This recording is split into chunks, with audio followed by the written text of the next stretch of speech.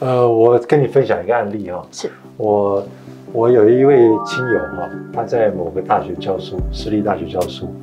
那你知道前一阵子因为疫情的关系啊，都改成线上教学。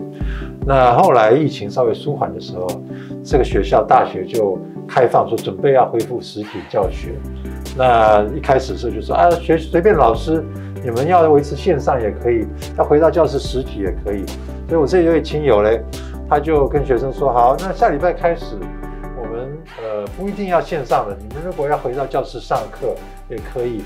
你如果要继续在家里面线上也可以。他那一班哈有六十个学生，五十七个学生。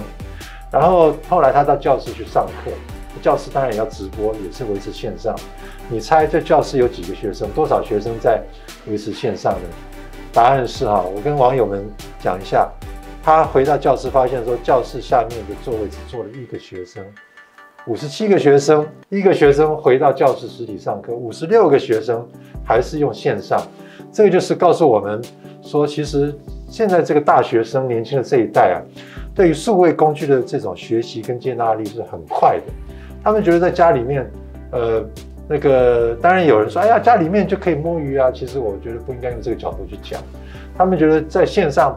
上课其实对于他来讲，他觉得更方便啊，所以这个就是，呃，可能老师很多老师当老师朋友都跟我讲说，哎呀，我们这两年教的学生哈，很多时间都是线上上课，教学效果一定不好。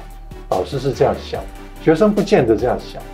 那另外回过头来就是说，如果学校里面老师觉得教学效果不好，因为线上教学的关系，其实那是因为过去。我们教学工具或平常工具没有准备好。嗯，如果这些工具能够同步都准备好了，其实我觉得线上教学的这个效果不应该会比较差了啊。所以这个就是让我们学校里面开始要比较长久的去思考，说如果说线上教学变成未来的一种非常主要的形态，可能跟实体教学是并进的，这个时候你的教学环境要怎么去改造啊？这个其实我觉得珍妮你。其实对学校也有很大的启发作用，启发的责任啊。